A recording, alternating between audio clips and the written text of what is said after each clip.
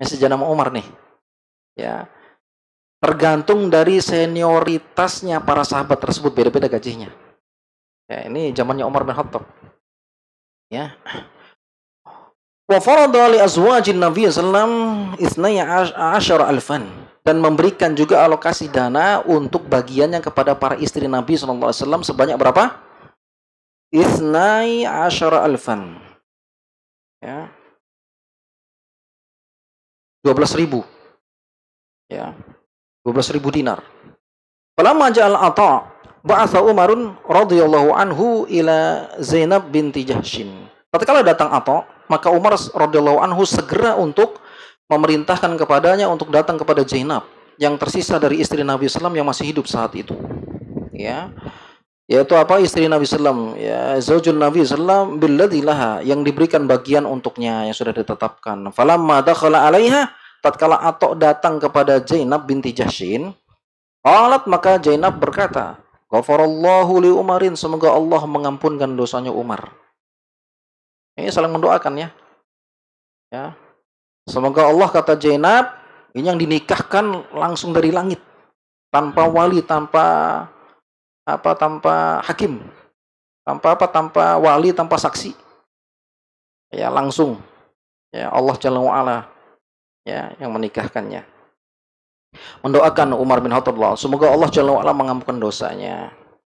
Demikianlah ya uh, Umar bin Khattab perhatikan uh, sedekah artinya sedekah ya untuk para sahabat Nabi Sallam yang sudah tua yang dulu berjuang di jalan Allah Jalla wa'ala dan para istri Nabi Sallam.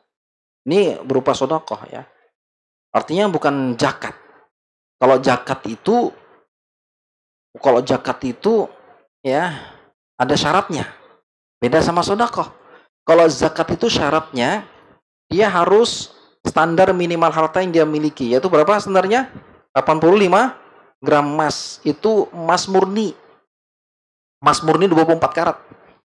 Dan syarat yang keduanya, sebagaimana hadis yang dikeluarkan Abu Daud, yaitu apa? Sudah melengkap satu tahun. Baru keluarkan dua setengah per persennya. Itu ya.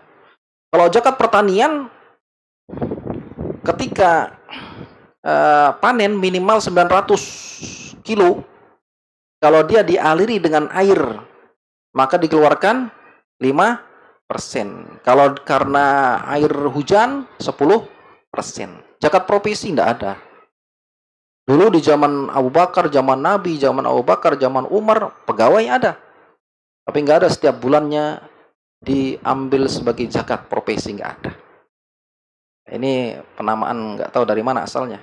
Yang jelas dalam empat madhab nggak ada ya jagat profesi ini. Sodokoh. Ya kalau tidak masuk syarat zakat maka namanya sodokoh atau infak. Jangan dipaksakan namanya zakat. Nanti ketika hartanya sudah berlimpah dan dia sudah bayar zakat setiap bulannya mungkin ya nggak mau lagi zakat. Nah, ini kemudorotannya menyelisihi su sunnah Nabi SAW. Ini harus paham kita. Ya, jangan dipaksakan. Tapi kan oh enggak zakat, tapi kan ada sedekah, ada infak dan yang lainnya. Jangan dipaksakan zakat kalau tidak memenuhi syaratnya. Karena bukti cinta kepada Nabi Sallam buktikan apa yang telah Nabi Sallam ucapkan. Karena Nabi Sallam sebagai hukum. Wala tajiru fi anfusihim harajan. Nabi Sallam dijadikan sebagai hukum kata Allah Jalla wa'ala. Dan mereka taslim tidak benci ya puas dengan apa yang telah ditetapkan Nabi SAW. Ya, itu dia. Kaum Allah Subhanahu wa taala. Dan sedekah ini kaum muslimin uh, anna sadaqata la tudfi'u ghadaba rabbi wa tadfa'u mitatasu. Sungguhnya sedekah ini menghilangkan murkanya Allah dan menghindarkan mati jelek. Sedekah, sedekah luar biasa, Pak. Sedekah ya. Makanya antum, Pak, agar dapat amal jariyah, sedekah, amal jariyah ya, entah sedekah entah apa dapat amal jariyah, di antaranya mudah, Pak tanam pohon banyak-banyak yang berbuah meskipun di pinggir jalan bapak mati setiap diambil burung dimakan ulat bapak dapat pahala jariah tuh. Tanam pohon gampang lempar saat. Kalau kembang ya kurang manfaatnya ya cuman dilihat gitu. Tapi ya ada juga kembang gitu ya tapi nggak seperti buah gitu. Itu ya amal jariah. Dan uh, sedekah ini kaum muslimin Allah Subhanahu wa taala ternyata berat bagi orang-orang munafik. Ya.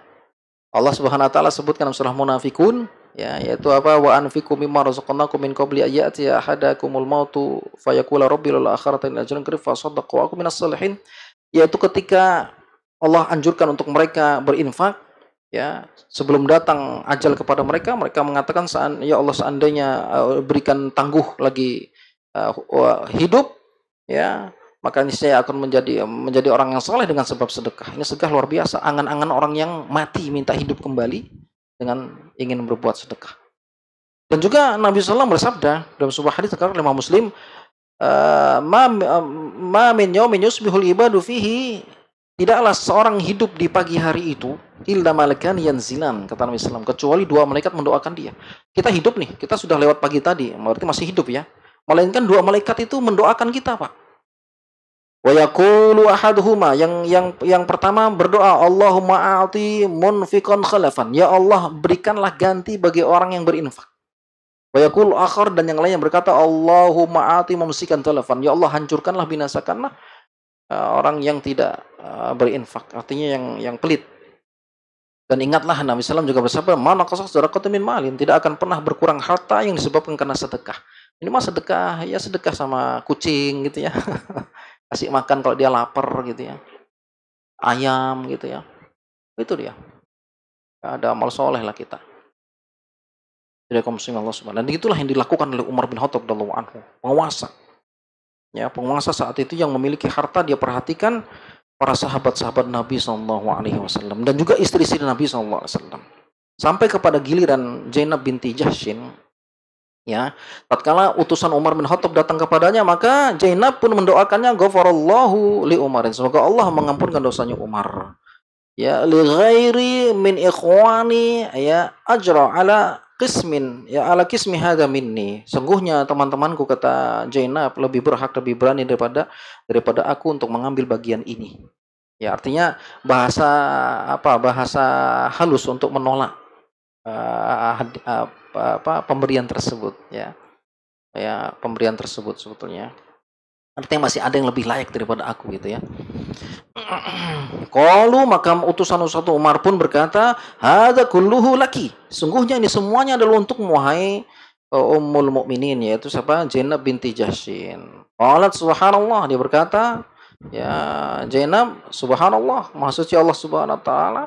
Ya astaqarrat dunahu. Dia pun diam dari tempatnya. Kalau dia berkata, "Suruhu uh, watrahu alaihi thawban Fasuruhu watarahu alaihi thawban. Maka dia perintahkan untuk meletakkan di satu tempat kemudian ditutup oleh kain. Maka mereka pun melakukannya. Faqalat. Maka Zainab berkata li imra'atin indah kepada wanita yang ada di sisinya. Ya. Udukhuli. Ya, masukkanlah yadaki. Ya, faqbidi minhu qabdatan. Masukkanlah tanganmu wahai wanita yang di sisi Zainab diperintahkan masukkanlah tanganmu ke dalam tempat tersebut kemudian ambillah dengan satu genggaman. Ya uang tersebut ya. Kemudian fadhabi ya. Biha ila ali fulan wa ila ali fulan min ata min min aitamiha. Min aitamiha ni jamak aitam jamak dari yatim ya kemudian pergilah kepada fulan bin fulan fulan bin fulan dari orang miskin dari mereka wadawi rahimaha dan yang karib kerabat mereka Faqasamathu hatta bakiyat minhu bakiyatan sampai semuanya dibagikan sampai tersisa sedikit dari bagian Zainab tersebut. Maka wanita tersebut berkata, "Laha ya uh, ghafarallahu laki wallah wallahi laqad kana lana fiha fi hadha haudun." Sungguhnya kata wanita tersebut dia bagi-bagikan cuman dia belum mendapat jatahnya. Sungguhnya ada bagian kami dari itu. Dia minta jatah sebetulnya. Ya, maka karena sudah tinggal sedikit, maka Zainab berkata, ya, Walakum matah tasawuf, bagi kalian ada di bawah uh, kain tersebut. Qalat, ya, farafa'na as-sawf, fawajadna, ya, khamsan wa dirhaman.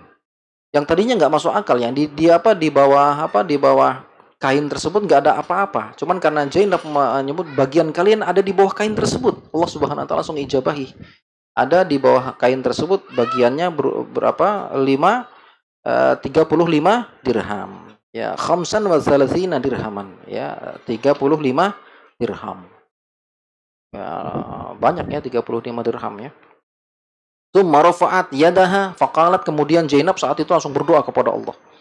Allahumma la uh, yudrikni atau li Umarin ba'da ami hadha. Ya Allah jangan datangkan lagi utusan Umar pemberiannya untukku setelah tahun ini.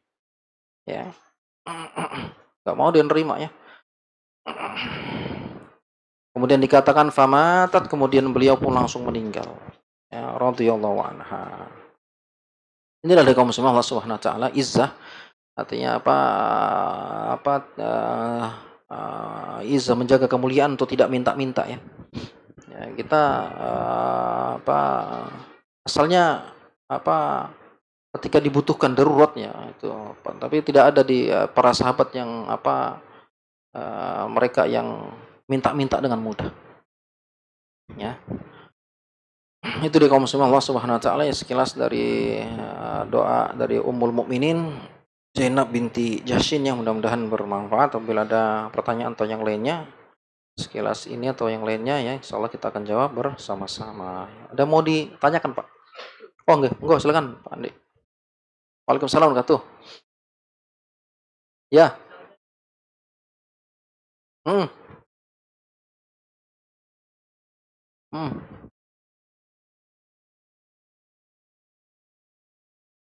Iya, mahram. Jadi kalau ada seseorang anak angkat, anak angkat berarti wanita ya, karena bermasalah sama bapak nanti kan, yang masalah mahram ya. Kemudian anak angkat wanita itu disusuin sama ibu bapak selama lima kali susu. Jangan salah paham lima kali susu itu cuma masalah gini. Bukan gitu ya. Maksudnya dia nyusu gini. Habis itu dia lepas sendiri karena kencang karena karena karena kencang tanpa diganggu. Habis itu netek lagi begitu ya. Baru dia lepas sendiri, hitungan dua. Jangan dipaksa, ayo, ayo, ayo, jangan. Dan syaratnya harus tidak lebih dari dua tahun. Kalau tidak ada syarat nanti bapak nyusu sama, aduh mahram kacau jadinya. Jadi syaratnya tidak boleh di atas dua tahun di bawahnya. Jadi kalau dia di bawah 2 tahun atau 2 tahun pas lah ya, susuin 5 kali susu, maka ya, yuhramu minar radha ya ma yuhramu minan nasab. Hadis ini sahih. Hadis surah Muslim ya. Apa-apa yang jadi mahramnya ibu susuan ya semuanya jadi mahram seperti mahram mahramnya nasab. Jadi yang mahramnya ibu itu jadi mahramnya anak tersebut, tapi kakaknya tidak. Kakaknya susuan ini tidak. Gitu ya. Paham ya? Bisa dipahamin ya? Misalnya saya punya mbah, punya anu kan mahram saya tuh. Ya kan? Nah, ketika ada saudara susu itu mahramnya mahram jadi jadi mahram maka mahramnya saya pun jadi mahramnya dia karena sebab persusuan tadi gitu ya lima kali susu dulunya sepuluh kali tapi riwayat dari Aisyah kemudian sampai lima kali su susu saja ingat ya tidak boleh lebih dari dua tahun ya itu dia. Iya, silakan. Ah.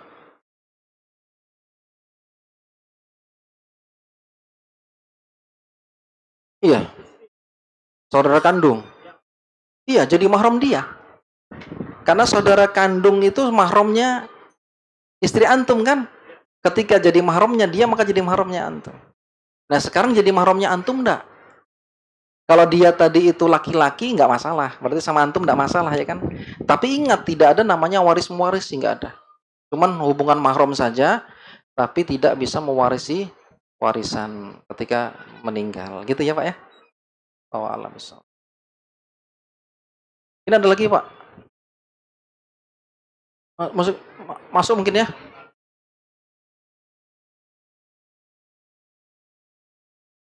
Ya mungkin uh, ini yang dapat kami sampaikan yang mudah-mudahan manfaat ya. Uh, maaf atas kekurangan. Subhanakallah bihamdika. Asyhadu an la ilaha illa anta astaghfiruka wa atubu ilaik. Assalamualaikum warahmatullahi wabarakatuh.